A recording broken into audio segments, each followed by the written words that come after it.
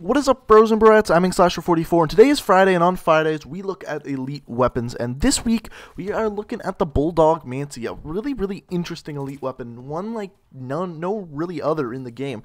The Bulldog Mancy is really, really special because it has nothing negative happen to it. Literally nothing. So if you look at this bad boy, you get up one accuracy, and you get a target enhancer.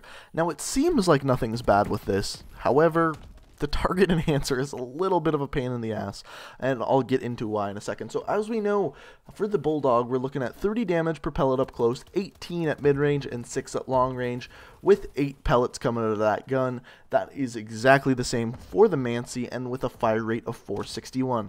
I'd prefer if that fire rate was a little bit higher, but unfortunately there is no variant for the Bulldog that has increased fire rate. On top of that, we are looking at 10% less recoil, which is absolutely needed with this gun because the target enhancer causes problems. I would much, much rather just use the iron sights for this gun. The target enhancer, like, you're, whenever you're using this weapon, you're going to be up close to people, so you don't need to see your targets any better.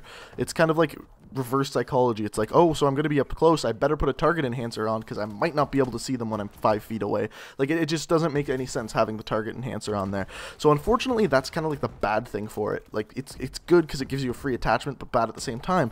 But here's why it's really bad. So normally when I use the Bulldog, I like to use uh, advanced rifling, uh, laser sight, and also I like to use a foregrip because with the bulldog I actually do enjoy aiming down sights because at a distance you can still kill people because you can shoot fast enough with this weapon when there's a target enhancer, you can't use one of those. So, if I suggest using two attachments with this gun, it's definitely 100% going to be one, advanced rifling, and two, a laser sight. Reason being, with that target enhancer, you're going to be aiming or not aiming down sights a lot. So, firing from the hip pretty much for 90% of your kills.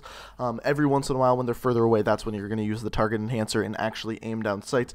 Now, one other thing that's going to be a little bit interesting that I've never actually talked about is that there actually is no multipliers for shotguns. So whether you shoot someone in the head or anywhere else, it's just a one times multiplier, which really, really sucks. Um, I, I really wish they'd fix that. Uh, I know it was kind of part of Advanced Warfare, but a part of the game was always being super, super accurate with your shots, and headshots make a difference, especially with shotguns, because at a distance, if you can aim for someone's head and tighten up that spread and really aim all those pellets at the head, it was supposed to like kind of benefit you if you could do that. And in this game, that just doesn't happen, unfortunately. So there really isn't that much to talk about with the Mancy. Target Enhancer is kind of the bad part of it. 10% less recoil is the good part of it. But that's all I got for you today, guys. I have one question before you before I sign off here. Um, on Monday, I always do versus videos, and I'm kind of running low on ideas for the versus videos. So what two guns do you want to see go head to head? Let me know in the comment section below. And if you give me a good idea, I'll put your comment in the video.